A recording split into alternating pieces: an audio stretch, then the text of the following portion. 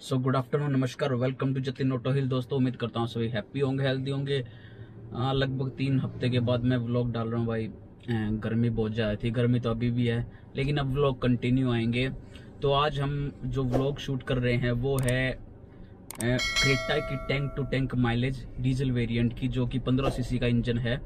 Twenty twenty Creta की हम mileage show करेंगे, और ये हाईवे की माइलेज होगी। और हम आपको इसकी सारी स्पीड कितनी थी क्रूज कंट्रोल पे था या नहीं था सब चीज़ें बताएँगे। और सबसे बड़ी बात ये है कि ये अभी 10,000 किलोमीटर इस गाड़ी ने कंप्लीट नहीं किए तो क्योंकि 10,000 की सर्विस के बाद एवरेज थोड़ी सी और इंक्रीज हो जाती है। और हम ये भी बताएँगे कि मीटर में एवरेज कितनी शो हो रही है और एक्चुअल में एवरेज कितनी है तो उसका डिफरेंस का भी पता चल जाएगा। चलिए पहले टैंक फुल करवाते हैं चलते हैं। तो दोस्तों टैंक हमने फुल करवा लिया है। माइलेज और किलोमीटर ज़ीरो ज़ीरो हैं और पाँच हज़ार नौ सौ चौरासी किलोमीटर गाड़ी चल चुकी है। ये डीजल वेरिएंट है। ट्वेंटी ट्वेंटी क्रेटा पंद्रह सौ सी का इंजन तो जर्नी शहर से स्टार्ट होती है। सोनीपत से सोनीपत से मुरथल तक का जो डिफरेंस है वो पाँच किलोमीटर का है, लेकिन हमारे घर से तकरीबन नौ किलोमीटर दूर था। तो तकरीबन नौ किलोमीटर में हमें मतलब गाड़ी हमारी 40 या 50 या 20 20 से 50 के बीच में ही चली। उसके बाद हम एन एच वन पे पहुँच जाते हैं। जी हम मुरथल को क्रॉस करने के बाद या मुरथल पहुँचने के बाद हम नेशनल हाईवे वन स्टार्ट हो जाता है। यहाँ से हमारी जर्नी एक सौ पचहत्तर से सॉरी एक से एक की अस्सी किलोमीटर दूर अम्बाला में अम्बाला तक है। रोड की बात करें तो सोनी मुरथल से लेकर पानीपत का रोड, हालाँकि एट लेन है, लेकिन दो जगह अंडर अंडर कंस्ट्रक्शन चल रहा है और साथ में एक टोल टैक्स भी आता है तो वहाँ पर भी हल्का फुल्का जाम लग जाता है। मतलब गाड़ी स्टॉप हो जाती है। मतलब 80 की स्पीड से गाड़ी डाउन हो। जाती जी हाँ हमने जो एवरेज थी, वो 80 से 90 के बीच मेंटेन करके रखी थी। ये देखिए अड़तीस किलोमीटर गाड़ी चल चुकी है और अभी जो अकॉर्डिंग टू मीटर 15.4 की माइलेज गाड़ी शो कर रही है। जी हाँ हम लास्ट में आपको मीटर और एक्चुअल जो माइलेज आती है, उसका भी डिफरेंस आपको बताएँगे। लॉन्ग ट्रिप में यार अगर रोड अच्छे हों हाईवे अच्छे हों तो मज़ा ही अलग होता है। हमने यहाँ पर खूब इंजॉय किया इस रोड ट्रिप को। क्योंकि गाड़ी में ना जो इंजन की नॉइस थी वो ना के बराबर ही थी। हालाँकि डीजल इंजन है, लेकिन फिर भी जो नॉइस थी वो बिल्कुल दोस्तों, अब बानवे पॉइंट तीन किलोमीटर गाड़ी चल चुकी है और अठारह पॉइंट तीन की माइलेज शो कर रहा है मीटर और आप देख सकते हो कि हमने स्पीड सिर्फ़ 80 और 90 के बीच ही रखी है। ये एक गुड माइलेज निकालने का तरीका होता है हाईवे पर। आप 80 से 90 के बीच में चलाइए आरपीएम ज़्यादा मत बढ़ाइए एक्सीटर पर जो पैर है वो बिल्कुल लाइट रखिए और एक ही स्पीड पे चलोगे तो गाड़ी अच्छी माइलेज देगी। हाँ हम आप, मैं आपको एक और बता दूँ। दोस्तों, हमारी गाड़ी फुल्ली लोडेड थी मतलब मतलब पाँच से छः मेंबर इसमें बैठे हुए थे, यानी फुल फैमिली थी इसमें।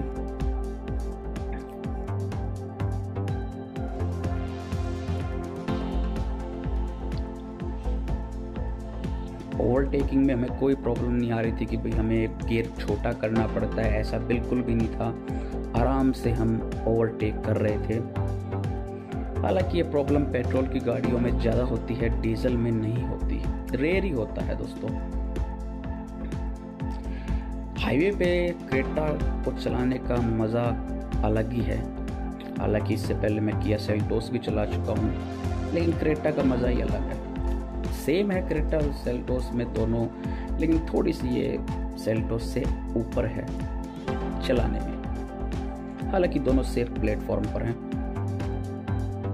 हम अपनी जर्नी पर पहुँचने ही वाले हैं जहाँ हमारा स्टॉप है और एक किलोमीटर हम गाड़ी चला चुके हैं दोस्तों और 21.3 की माइलेज गाड़ी यानी मीटर शो कर रहा है। यानी अब माइलेज 21.3 क्योंकि क्योंकि जैसे जैसे आप हाईवे पर गाड़ी चलाते जाओगे, वैसे वैसे एवरेज बढ़ती जाएगी।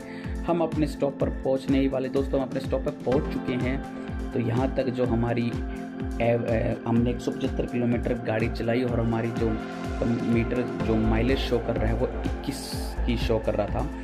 बाकी रात को अंधेरा हो गया था, हम रात को रिटर्न अपने सिटी की ओर चलते हैं। और रात को ना दोस्तों थोड़ा थोड़ा ट्रैफ़िक एन पे बढ़ जाता है, क्योंकि रात को ट्रक बहुत ज़्यादा चलते हैं। इस, इसी रीज़न से थोड़ा स्पीड में मतलब बार बार गाड़ी के ब्रेक लग रहे थे। मतलब जो फ़र्स्ट मतलब जाने में जो मज़ा आ रहा था, वो आने में मज़ा आ रहा था, लेकिन उस तरीके की स्पीड मेंटेन नहीं हो रही थी, जिस जिस तरह की हम जाते वक्त मेंटेन करके चल रहे थे, यानी ब्रेक लग रहे थे। 300 दोस्तों, घर हम पहुँच चुके हैं। तीन किलोमीटर गाड़ी चली है और मीटर में 21.6 की एवरेज शो कर रही है। तो टैंक फुल करवा दिया दोस्तों हमने। नेक्स्ट डे मॉर्निंग में, क्योंकि रात काफ़ी हो चुकी थी, और सोलह पॉइंट तिरानवे का इसमें डीजल आया है।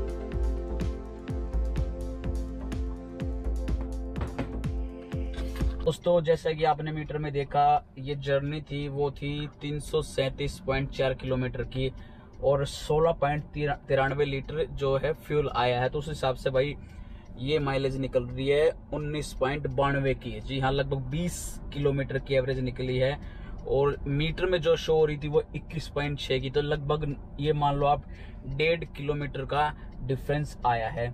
इसमें थोड़ी बहुत सिटी में भी गाड़ी चली थी तो ओवरऑल देखा जाए तो 20 की माइलेज है कंपनी किसी क्लेम करती है, लेकिन मैं मानता हूँ ये माइलेज काफ़ी अच्छी है, क्योंकि अभी दस हज़ार वाली सर्विस भी नहीं हुई है। तो उम्मीद करता हूँ दोस्तों आपको मेरा ब्लॉग अच्छा लगा होगा। मिलते हैं नेक्स्ट वीडियो में, तब तक के लिए बाय एंड टेक केयर